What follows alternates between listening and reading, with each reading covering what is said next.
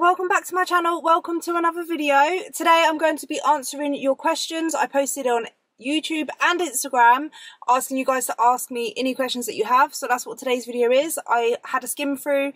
There's loads just about weight loss, calorie counting, weightlifting, training, exercise, health, fitness, but there's also some uh, more personal questions. So that's what today's video is. If you're interested in anything to do with health, fitness, weight loss, or lifestyle, then please be sure to subscribe and click the bell button. If you don't know who I am and this is the first video of mine you're watching, hello, my name is Louise.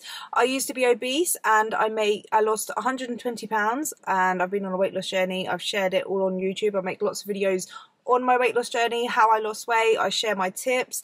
I share like my journey in general basically. I shared my bikini competition and the prep leading up to that. I've shared the prep and the leading up to of my photo shoot and I basically share my muscle building journey. I share everything like that and just lifestyle in general here on the channel. So if you're interested in any of that, then join the family here on YouTube. And if I answered your question or a question that you have and you find any of the answers useful, I would really appreciate it if you click that like button. All you got to do is just click the thumbs up. It's free. And if you're feeling extra generous, a little early Christmas present to me, guys, just click that like button anyway. I really appreciate it. So we're in my car and Tesco is delivering to my neighbour. So that's their Christmas dinner.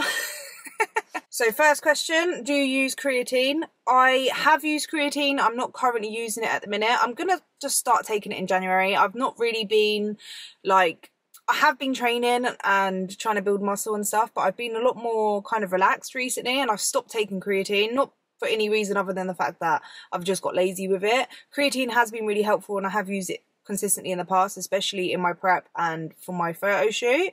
I just haven't been consistent with using it. So I haven't been using it recently. How many days are you going to be indulging in the Christmas goodies? Oh, I've been indulging in the Christmas goodies all December. Can't you tell? I, I don't indulge as in like every single second I'm eating Christmas foods.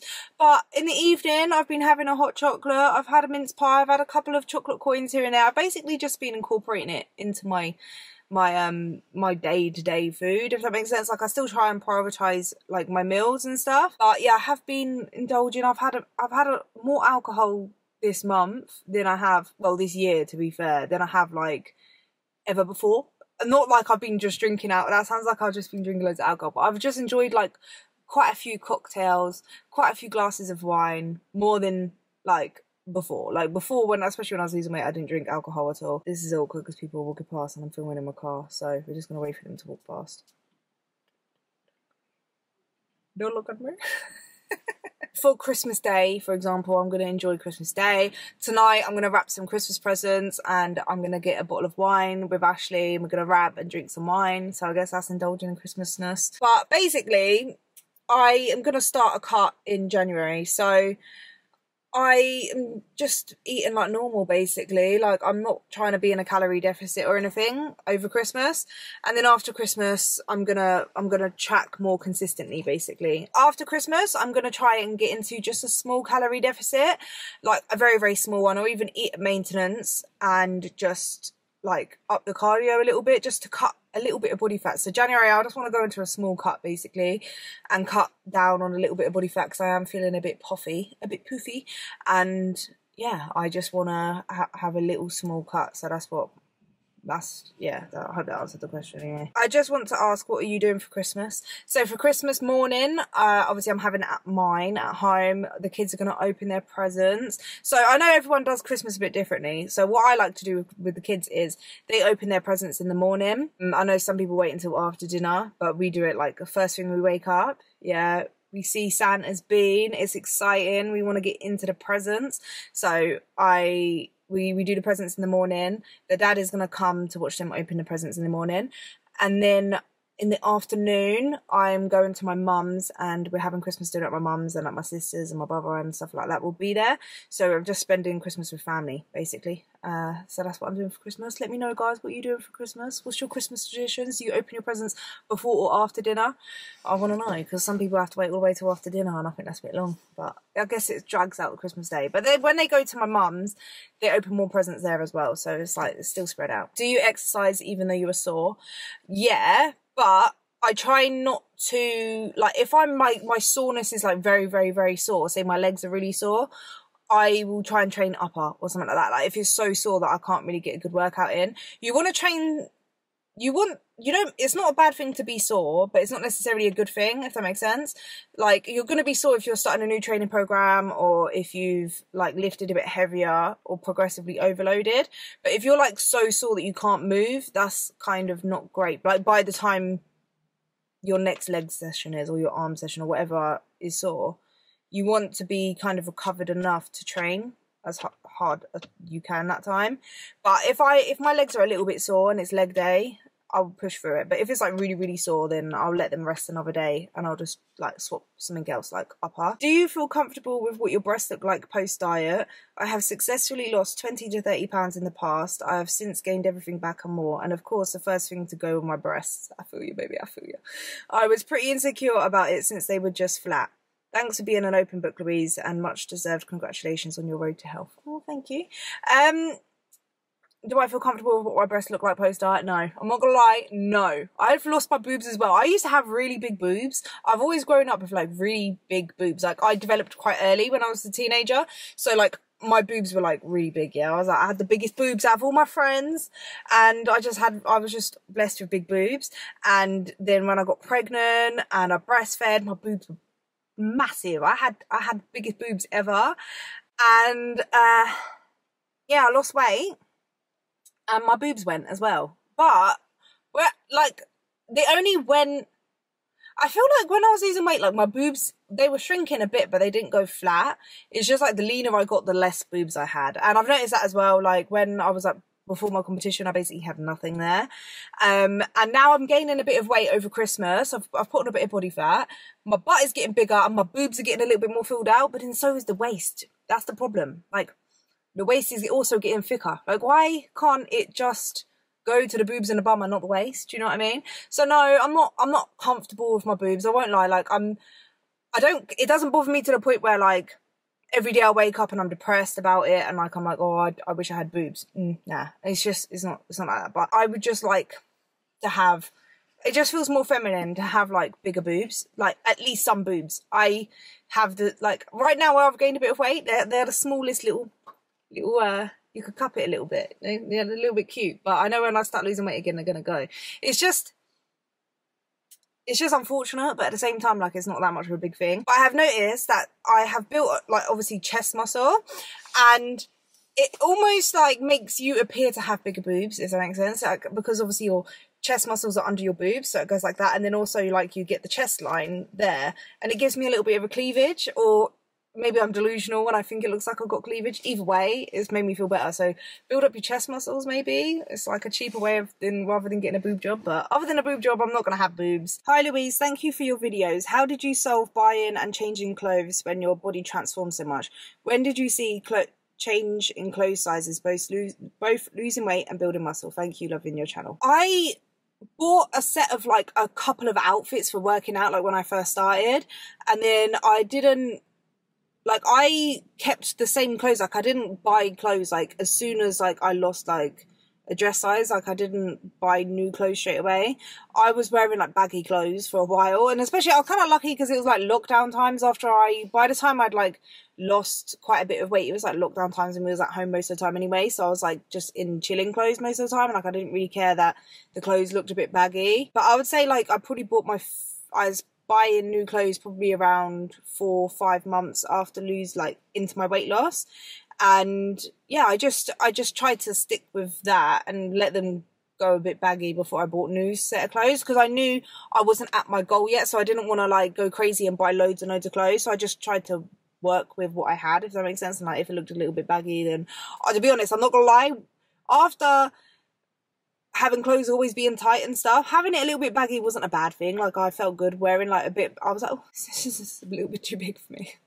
I didn't mind it being a little bit baggy, so I I didn't start buying like loads of new outfits until after the year after I'd lost all the weight that I wanted to lose, and then um when I was building muscle and stuff like throughout maintenance my body has changed so much like where i've built muscle and stuff so my clothes sizes has changed a bit but not too much like i'm ranging between a size I've ranged since I've lost weight and I've maintained it. The smallest I got was like a size eight, maybe like for prep, I was a size six, six to eight. And then the highest I will go is a size like 12, so 10 to 12. So I'm basically, my wardrobe has still got all the clothes that I had from prep because when I go into like um, a cut and stuff, I, I pretty much fit into a size 8 to 10 anyway. Definitely not a 6. Oh, the sixes they've gone. I'm not ever getting to that small size again unless I do another prep. Over time, basically, I've just bought clothes. Um, and I found it quite fun to be fair, like just experimenting with like new styles and stuff and finding what like suits me, what I like, and like suits my new body. My new body. How do you stay motivated when you're not seeing results? Slash before you can see the results. It's it's hard when you've not got the results yet, but I what I did when I first started was I pictured what it would what I would feel like when I'd lost the weight. So like I knew that me carrying on, me pushing myself through this workout, through this day of just eating in a calorie deficit, saying no to them cravings when I felt like overeating or when I got emotional and I wanted to overeat, I'd think, okay, but how will I feel if I push through this and when I get to my goal weight and like like not even my goal weight because I didn't even have a weight in mind. I just remember thinking like when I've lost weight, how am I going to feel and how worth it is it going to be if that makes sense. And I I would just always picture that and that got me through it just like thinking about that. So that that's all I can say is like just think about like the future. Try and stop going for the instant gratification like what you want in that moment and try and put yourself into the future if that makes sense. Do actions now that will be so much more rewarding in the future. I don't know how, how else to explain it, but just think of the future you and do it for her because she will thank you. She will look back and be like, I'm so glad she never gave up. Like, I never gave up. And then also, other tips I can give is consume weight loss content, consume health and fitness content, almost get obsessed with it in a way. Like, not obsessed as in like, that's the only thing you're interested in. But that's another thing that I was into when I first started losing weight. I was always watching like YouTubers like Obese to Beast, Greg Doucette, that was always talking about like weight loss and health and fitness and like educate yourself. And that's one thing about me is when I'm interested in something, I learn every single thing there is to to know about it and I almost do get obsessed with it and that's how I was at the beginning of my journey was I was just constantly looking at like health and fitness content weight loss content learning about nutrition learning about new foods learning about calories and like how the body works how the body loses fat like because when I was losing fat I got really into like where does the fat go and like all of this stuff and I was just like learning about it and I become like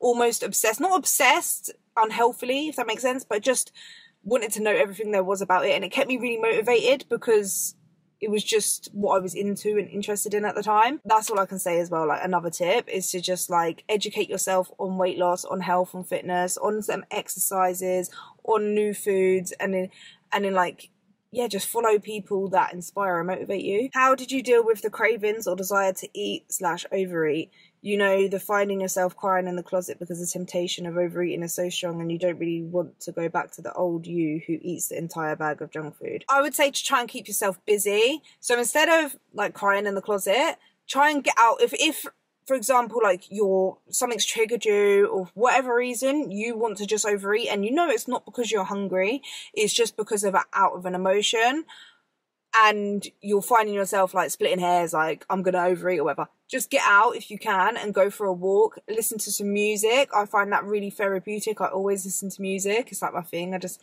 put my earphones in, listen to music, watch some videos, like anything that like calms you down.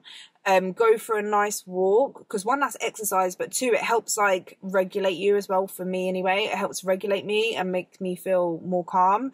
And you're also taking yourself away from it. If you can, go out without your purse so you're not going to the shop and buying food. Try to keep your trigger foods, like foods that make you feel like that because it's just there and there's only so much your willpower can take having it there before you try and want to eat it, if that makes sense. So try not to have those trigger foods in the house in the first place. Try to sit with the feelings that you have that bring you to the point of wanting to overeat. So say if you notice every time like you get stressed out or you get anxious or you're angry or you're sad or you're lonely or you're bored try to notice the emotion that you feel before you get to that point of wanting to eat, if that makes sense. I say like you feel like, oh, I just want to go in the cupboards and eat. Try and take a step back and think like, what emotion am I feeling right now? Like, what has happened or what am I feeling in my body? Like do a little full body scan and think like where where am I feeling this feeling from? Where has it come from? Why am I feeling like this? And just try to sit with it. Don't overthink on why you're feeling like that necessarily, but just feel it and try and focus. Like I've I've been learning how to do this. It's like you go into your body if that makes sense, and like you scan your body and feel the feelings that you're feeling. And instead of because it's an uncomfortable feeling, what we like to do is when we're an emotional eater, instead of feeling the feeling because it's uncomfortable, we distract ourselves and we haven't found a healthy coping mechanism for the emotion. So what we've found is by eating, it's distracting us because we're we're we're doing something else with our, our body. We're tasting food, we're eating, and it's distracting us temporarily from the emotion that we're feeling. But the thing is, we finish eating and then we tend to feel worse because we've overeaten. We probably feel guilty because we've broken our diet. We're stuffed and now we're actually in a worse position than what we were before. So what you do is like take yourself out of that situation. Take a step back. Go for a walk if you if you feel like you need to get out. And then do a full body scan. Feel your body. Feel where the emotion is and just kind of like go deep into that feeling. For example like are you feeling it in your chest in your stomach? Uh feel whether like what does it feel like? Is it heavy? What if it has a color? Like try and envision it. Envision it and like does the emotion have a color? Is it thick? Is it where is it? Is it spreading from my stomach to my legs? Am i feeling it in my hands? Like i know it sounds silly but you have to really kind of visualize it and feel it and just go deep into that feeling. And what you'll notice is the more you do that the easier that feeling just flows through you and then you feel more calm and then you lose the desire to overeat if that makes sense that's what's worked for me it's a form of like meditation mindfulness and that's really helped me so i thought i would share that what are your go-to meals slash snacks when you want to binge i don't ever really want to binge to be honest especially anymore. The only times I've had strong urges to binge was after my competition. Um, when I was very lean, I was at a very low body fat and I was very, very hungry. And what I did was I would allow myself to eat, like, I would allow myself to eat, but I made it more lower calorie dense food. So I, I had fruits, vegetables, high protein snacks. Um, so I would make like a massive bowl of salad. I would allow myself to eat as much fruit as I can, like as I wanted to, basically, until I felt satiated. Fat free Greek yogurt, uh, jelly pots, um, just because I didn't want to like regain loads and loads of weight straight away like just because i know that that can trigger body dysmorphia and i just didn't want to regain like go on a like gain too much body fat straight after the show. I wanted to like slowly gain the body fat back so that my mind had enough chance to catch up with my body. So i would eat low calorie dense foods. And if i am really hungry now and I've eaten all my calories, then yeah, I'll go for things like sugar free jelly, fat free Greek yogurt, anything with protein, jerky, egg whites, like French toast, fruits, vegetables. Anything that's like got quite a lot of fiber or protein, it's just going to help keep you full. And if you don't feel like eating that, say you're like, you really want to binge, yeah, you're hungry, you just want to eat loads of food, but you're like, mm, I don't really want to eat fruit though, or I don't really want to eat. I don't know, veg, or I don't really feel for this. And it's like, you know that feeling when you're like, I'm hungry, but I don't feel for that. And you're like trying to figure out what you feel for. You're not hungry at that point. That's emotional hunger. So then you have to sit through and do the full body scan and think about your emotions. Or sometimes, sometimes I feel like you can be hungry for just chocolate or dessert or something, but you don't necessarily need it. You're not going to die without a piece of chocolate. But if you feel for a bit of chocolate, instead of just saying no to having a little bit of chocolate, because that's more likely to lead to you then overeating chocolate in, in the end, either make a high protein chocolate dessert, like fat free Greek yogurt, you can get like the chocolate protein mousses, or just have a little bit of chocolate and is it far better than avoiding it completely and then overeating on it. Really appreciate your channel. We have very similar body types and it's so motivating to see your results.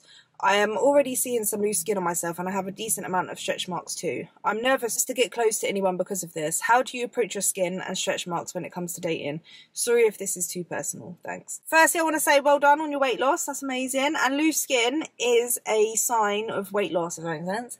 Do you know what I mean? It's like your little badge of honor. Think of it like that. But I would say the first step is to accept it yourself because you can't ex expect someone else to accept it if you can't can't accept it yourself if that makes sense. So try to accept the loose skin and the stretch marks as just a part of your body as a part of like your journey. They're just signs of what your body has been through if that makes sense what you've done to achieve the body you're now in. I have loads of stretch marks. Like literally, I was looking at it today, like all over my stomach, or even on my my chest here, the backs of my arms, on my arms, on my legs. I have stretch marks everywhere. They're like basically white now, so they're not like that noticeable and they're not like really really thick ones but i have like loads like even like up here like just everywhere i have them and obviously i have loose skin you guys seen my loose skin videos on my channel so I do have that as well. I would just say like for me it's a little bit different because I have videos and I show I've basically I feel like I'm very open with the fact that I've got stretch marks on loose skin. I've lost a lot of weight. I've got pictures of me and my bar knickers when I was like obese. I it's, it's pretty much out there yeah. If anyone is gonna see it they're gonna see it. So I mean it's pretty pretty obvious for me. But obviously I know you're not gonna have um your you might not have videos of your loose skin or stretch marks on your Instagram, say. So what I would do in your situation is I'm guessing when you're dating someone you're gonna be open to them eventually and say that you know you've lost weight or you're in the middle of losing weight or at some point disclose that you was overweight. So uh, I feel like a lot of people are aware enough to know that if you've been at least pretty big or overweight, you're going to have at least some stretch marks, and weight loss does result in some loose skin. It's up to you whether you want to say that I've got a bit of loose skin. You can maybe, like, I don't know, make it a joke. Not a joke, but like, I wouldn't be like, okay, I just want to let you know I've got a little bit loose skin. I would make a joke out of it and be like, you know, I'm like Elastigirl. Like, I've got stretchy skin. Like, I'm a super, I'm superwoman. I would make a joke out of it.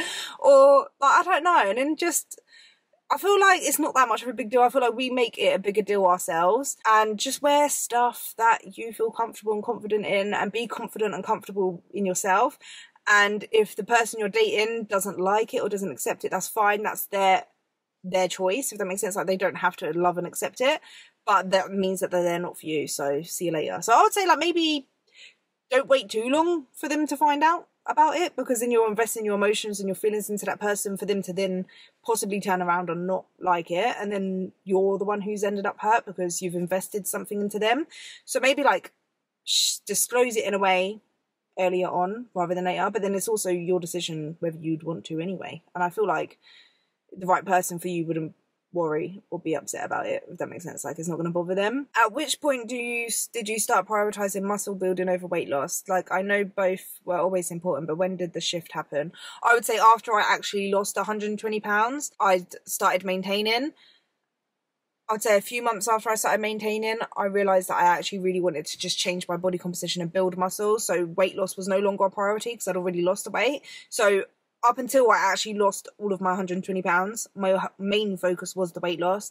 And then once I'd lost the weight, then it shifted to muscle building. Would you ever consider being a PT? Absolutely love your videos. You're so inspirational. Merry Christmas. Merry Christmas to you too. Thank you. And I have definitely thought about it. It is something that I do want to do, but I don't know whether I feel like I've, I don't know, like I want to become a personal trainer because I want to train people, but at the same time, I don't know if that's my calling. Do you know what I mean? Like, I feel like I want to do something along them lines, but I just I feel like if it was for me, I would be feel passionate about it, and I'd, I would have done it by now. I don't know whether that's that's my calling. You know, I'm still trying to figure that out. Like whether a personal trainer, like a one to one kind of training in the gym, is for me, or if maybe online coaching would be better or a life coach. Like I am looking into that kind of stuff, but I want to do something when I do something like that, I want to be 100% into it and passionate about it. I don't want to be like half assed with it. I'm not like a half assed person. Like if I want to do something, I'm going to be 100% in. Can you please do a video on how to create a personal four day workout routine for someone who's been working at home but wants to transition to the gym or is new to the gym? Thank you. I can do a video on it, but I'll just do a quick little like breakdown of what I would do now, if that makes sense. So four days, if it was me, what I would suggest is an upper lower body split. So if you've only got four days of the week to train, if your goal is to just build muscle everywhere and you're new to the gym and you've not got a specific body part to work on, I would say splitting the workouts into upper lower body splits. So say you can only train on a Monday, Tuesday, Thursday and Friday, for example. Monday would be like legs. Get that out of the way first. Tuesday, upper. Wednesday, rest. Thursday, legs. Friday, upper. So I would suggest to do, I would say about five to seven exercises for your legs and for your upper. Maybe for your legs, yeah, yeah, five to five, five to seven exercises, and then three to four sets of, I would say, if you're just starting out, 10 to 12 reps, or you could even go up to 15 reps if you're first starting out. Try to make the workout routine well rounded, if that makes sense. So find a couple of exercises for your quads, a couple of exercises for your hamstrings, a couple of exercises for your glutes, and try to like fit at least like one or two of each of them into that leg workout, for example. Write it down and be consistent with it. Keep a record of the weights you're using so that you know where you're at and when you've you can increase it if that makes sense like you know where to increase from what you last did and you can kind of increase weight a little bit so you could progressively overload if someone lose 100 pounds how to avoid loose skin tell us with your experience any pre- preventative measures kindly you can't really avoid loose skin especially if you're going to lose 100 pounds you're going to get some loose skin uh, i would just say I mean, I've got loose skin anyway. I feel like people think I don't have loose skin. I do, but it's not that bad. But I would say what I've done is I drink a lot of water. I have berries like raspberries, blueberries. They've got antioxidants in, which is good for your skin. Take multivitamins, moisturize, exfoliate. I feel like that's like the only things like taking care of your body and your skin. Then it's gonna give it the best kind of. It's gonna be moist in it. It's gonna have the oils and it's gonna it's gonna shrink back as much as it possibly can, but you're still gonna have loose skin. And then also maybe not losing weight, not losing those hundred pounds very very quickly, so it gives you time your skin enough time to shrink. But even still, you're going to have some loose skin. So you can't fully prevent loose skin. The only way to get rid of loose skin is to have surgery to remove it. You did say anything, and I know I'm going to off the subject a bit, but is your mum's house still haunted? I was fascinated by that story. Yeah, my mum's house has been haunted from day. Since the day we moved there, my mum's house has been haunted from there. I haven't heard about anything recently happening at my mum's house, but it's, it's just like things happen on and off there all the time. So I'm sure, like, I'm going to my mum's on Christmas. I'm sure she's going to tell me about something that happened. It's more like every day something happens. It's weird. It's weird. It's like maybe like once every couple of months, like something will happen. When would you say you first started seeing results during your weight loss and tips on how to stay consistent and not quit? You're an inspiration. Merry Christmas. Well, Merry Christmas to you too, and thank you. Um, I would. I said I started seeing results after the first week, as in I started feeling better in myself. I felt like I was losing weight and I'd lost like nine pounds on my first week because of a lot of water weight dropped and stuff like that as well. The bigger you are, the more weight you can lose in your first week just because you can hold on to a lot more water.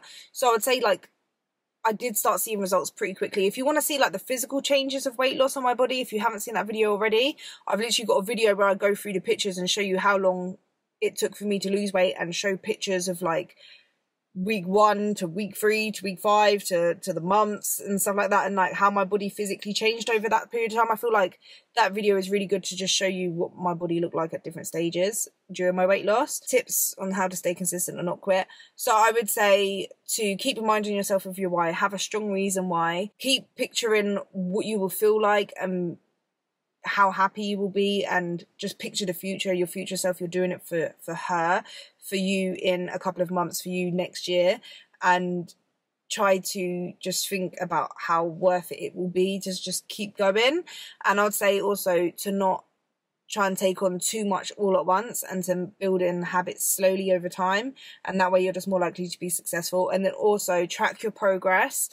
Make sure you have weekly or at least every two weekly check-ins with yourself. So like that's a weigh-in and just like reflect over the week what you've done well, what you haven't done well, and kind of like make a plan of things that aren't going well, like how you can fix that. And then also have a way to hold yourself accountable. Like for me was having Instagram. I would post my weekly weigh-ins. So it kept me accountable because I knew I would have to post my weekly weigh-in. And because I'd made it a routine of like every week I'd post my weekly weigh-in, even if I'd had a week where I felt like I wasn't going to do well, I would still post that weigh in because I didn't want to break my streak of like doing my weigh ins.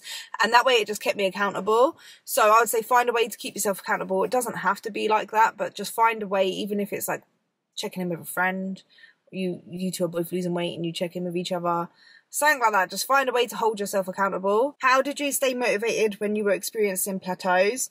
I only experienced it a few times on my weight loss, true plateaus, and I would say it is very mentally hard, especially when you feel like you're doing everything right. But what I did was I just either I would increase my steps, train a little bit harder, increase my cardio or decrease my calories a little bit. And I would also make sure that I would track every single thing because sometimes we're not really in a plateau. All we are is like we've slipped a little bit with like tracking or we're eating things here and there or we're not hitting our steps, we're not training we're not doing the cardio that we were once doing.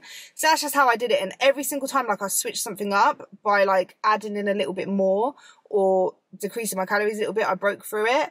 And sometimes we think we're on a plateau. Like a few times i thought i was in a plateau and really and truly i was just coming on my period and i weighed a little bit more that week. So just stay patient and try to remind yourself to carry on doing the habits and to basically be really real with yourself and make sure that you're not slacking anywhere and then yeah just be patient and you'll eventually lose weight do you know what i mean like it'll eventually come off it's just sometimes our bodies like to stick in one place you know what i mean and we just have to push through it and you'll be fine i promise like it's not you're not going to be stuck in a plateau forever especially if you're still overweight you're not and you're eating in a calorie deficit you're not gonna it's not going to be stuck. You will eventually lose the weight. Are you ready to start dating again? Mm, maybe next year. which is coming up real soon. Um, yeah, I've been I've enjoyed this year of being single.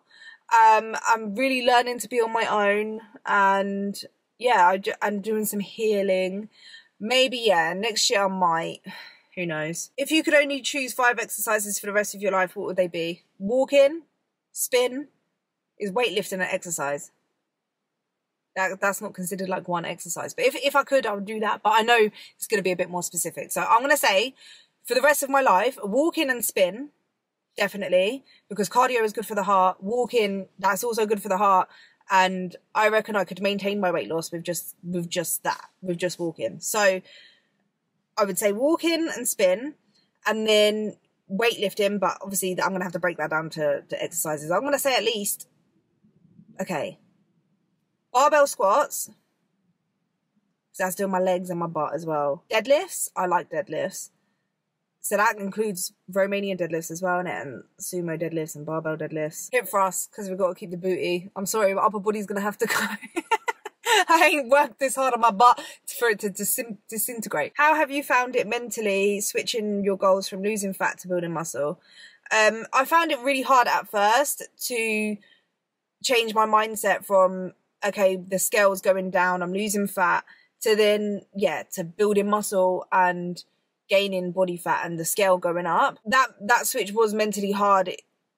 And I think it it just took a little bit of time and like just experience, if that makes sense. Like I had to push myself past feeling a little bit uncomfortable. I had to stop weighing myself so consistently because it did make me feel like I should start reducing my calories. So every time like I would increase my calories, train a little bit harder. Yeah, I was building muscle, but then I'd see the scale go up a little bit and I'd I'd feel a little bit uncomfortable and I'd think, oh, maybe I've increased my calories too much and I kept decreasing my calories. And what that was doing was actually holding me back in the gym. I wasn't getting new personal bests. I wasn't building muscle because I kept reducing my calories. So I wasn't sticking to the plan, which was to gradually increase my calories and train to build muscle. So I I had did have to stop weighing myself so consistently and just push past that uncomfortable feeling at first to then see that I wasn't actually going to regain all of my weight back. I wasn't going to get fat just because um, my calories increased a little bit and my the scale was going up. Like it, it, it had to be a bit of experience if that makes sense like i had to give it some time to and see that I was actually feeling better in myself. I was feeling stronger. My lists were progressing, and I was actually building muscle. And I wasn't gonna get fat overnight by just increasing my calories a little bit. So yeah, that's that's what I was saying. It was it was difficult at first, but with time and experience, and actually seeing the results, is now like okay. Like I'm I'm good with it now. Like I, I find it a bit normal. I'm able to be okay at gaining a little bit of weight and even a little bit more body fat than normal. Like right now, I'm at a little bit more body fat than what I am in the summer, and I'm comfortable with it because I know that I have the tools. Like I know how to reduce my calories and cut body fat if I want to. Like I, I know I can do that, so I know I'm not gonna get to the size I was before. All right, so that's all I have time for today, guys. I hope I answered your question. If I didn't, I will do another Q and A soon, so don't worry, I will get around to answering your question. I hope you guys enjoyed today's video. If you did please leave a like. And I hope you guys have a lovely Christmas. Enjoy Christmas. Don't feel guilty for enjoying Christmas. And I'll see you guys soon. Take care. Bye.